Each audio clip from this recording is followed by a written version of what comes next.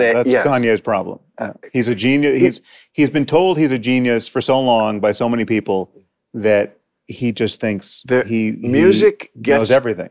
music gets to people in a certain way um, that dick jokes do not. you know, I don't know what to tell you.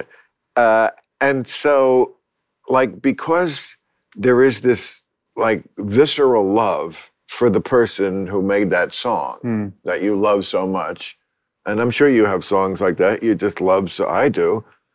Um, they confuse it with this person is Jesus, you know. Right. And so the adulation is so great that it puts them in this world where anything they want, you know, it's everyone tries to give them the best thing they have.